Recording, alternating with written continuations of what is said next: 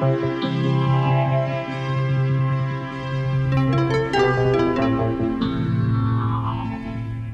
in the School of Family Therapy that you founded, Conjoint Family Therapy, you, you spent a lot of focus is just studying the way communication occurs in a family to diagnose what, what that family's problems are. And as long as, that's right, and as Mhm. long as we're on that subject, let me tell you something that came out so clearly after I worked with many, many people. There are two dialogues that go on.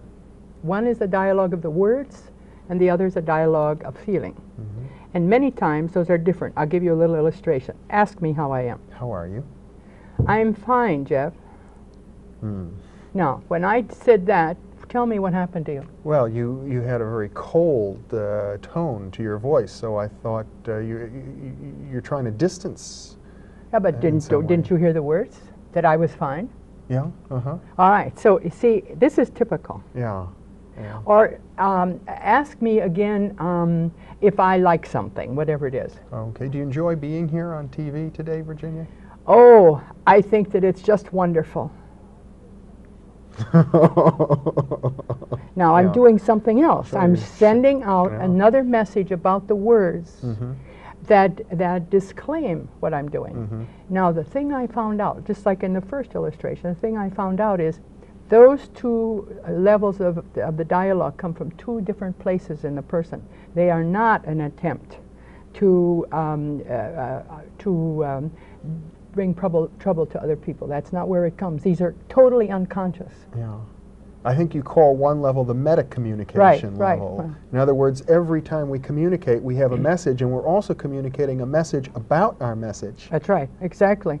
And that's, you see, a lot of people, and, and I think it's even been true of psychologists, when people give what we call double level messages, which is where my body says one thing in voice, different from my words, that this is a way to, th- that this is deliberately done. It isn't. Mhm. The words come from the left brain, what you should do. The other part comes from the right brain. Now, suppose that I have a rule that says that I should never complain to you. So Mhm. let's suppose I'm in terrible pain and you ask me how I am, Mhm. and I say, fine. What am I doing? This says I've got a rule that I should never complain. Yeah. And it says I have pain, but I'm, I'm giving the message that I, uh, what I should do, which is I should never complain. Mhm. And it's as if underneath any conversation, no matter how, I suppose, abstract or intellectual, there's always a, a, a human being under there with emotions, often needing to be validated. That's, of course, one of the things I try to teach people. I'll have to tell you something. I go to lectures. I, I mean, and people presenting things, and I listen, and all of a sudden, they may be talking about all this erudition, and underneath, I hear, I'm hurting. I feel disappointed. I would love for you to help me. Mhm. And it comes out in these very erudite terms.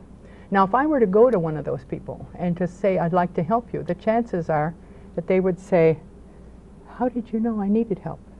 What makes you think I need help? Yeah. They might even deny it. Sure, because usually people like that have rules they shouldn't ask for help. Not that they don't need it. Mhm. And this is the kind of stuff that goes on with people all the time.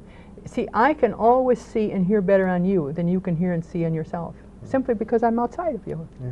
And then when I share with you what I'm seeing and hearing, if it, for instance, happens to meet one of your rules, which is I should never ask for anything, I should always be right, uh, etc., then you have to deny that what's going on. And then if Mhm. I am not careful, I have to prove my point, and Mhm. pretty soon we've estranged ourselves. And, and in our culture, I suppose one of the very common rules is, is never to reveal uh, what you really feel, especially if, of the vulnerable parts. well, see, if you think that's absolutely true. If you think about it, Mhm. the people's feeling about what's vulnerable is their deep feelings. But Yeah. most people uh, give themselves credit, with quotation marks, for only having bad things inside, Uh-huh. not good things. Yeah. Or, or, or um, even, you know, I've even found people who felt that they couldn't talk about love feelings because somebody else would be jealous. Mhm. So as a result, we don't communicate the thing that is really what human beings are about. Mhm.